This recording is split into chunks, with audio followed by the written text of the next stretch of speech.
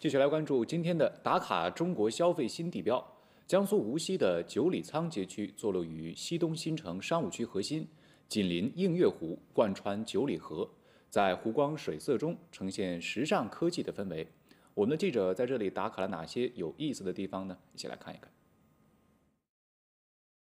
打卡中国消费新地标。今天啊，我来到了位于江苏无锡的九里仓，这里啊是无锡最具特色的文商旅街区，也是长三角消费的热门目的地。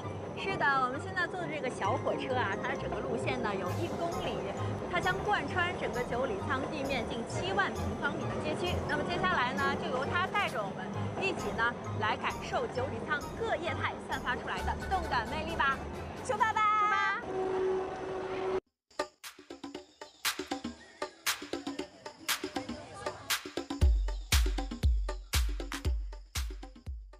还不到晚上，九里仓已是火树银花，游人如织了。自2022年开业以来，这个集二次元、灯影秀、艺术演绎、主题商业等众多业态为一体的潮玩之地，吸引了无数游客前来打卡，也为无锡的夜生活增添了新的聚集地。随着婉转悠扬的唱腔响起，这里最盛大的演出已经开始。哎，刘觉，珍珠塔您知道吗？是戏剧呀，没错。来到无锡呢，咱们一定要听一下当地原汁原味的戏剧，而且这里呢，其实就是戏剧的发源地。所以呢，在九里仓的这种公演舞台上啊，每周都能享受到这样的视听盛宴。而我呢，今天也是换上了一身这样的中式旗袍，坐下来泡一杯芳香的茶，仿佛时光倒流，沉浸式的戏剧体验将我从这时尚的潮玩之地瞬间带回到了当年最真实的样子。九里仓以时尚街区、露天舞台的方式，让古老优秀的传统文化戏剧走进年轻人，融入城市的生活中。游走在这条传统与现代交融的街区，与迎面走来的二次元角色相遇，仿佛在不同的时空里穿梭。整个步行街设计中凸显人文潮流元素，营造出了一片开放自由的城市空间。觉得很有特色，那有互动，有表演，小朋友也可以做互动。现在人多啊。天天来玩都有瘾了。哪一款产品卖的最好？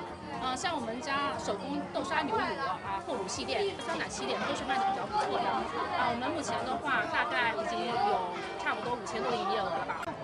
看鸡头米奶茶上新了。那鸡头米呢，其实是我们江南的一个特色时令。剥开了白色的部分呢，是有点像莲子，非常有营养，也被称之为水中人参。那我要赶紧尝一尝。嗯。怎么样？这个有点像奶茶里的珍珠，但是呢，它比珍珠要更有嚼劲一点。确认过了，这是江南水乡独有的夏天味道。逛完喝完，其实啊，在九里仓还有一个最大的亮点，就是每天晚上九点钟左右的无人机表演。现在呢，就在我的身后，三百多架无人机腾空升起，以夜空为画布，以灯光为画笔，以当地文化为特色的画卷，在空中徐徐展开来。通过不同的颜色组合变换，在与九里河的水幕瀑布相呼应，一场震撼的光影艺术盛宴精彩呈现。每天的无人机表演期间，也会形成周边道路车辆水泄不通、商区吃饭等位近一个小时的繁荣景象。江苏无锡欢迎您！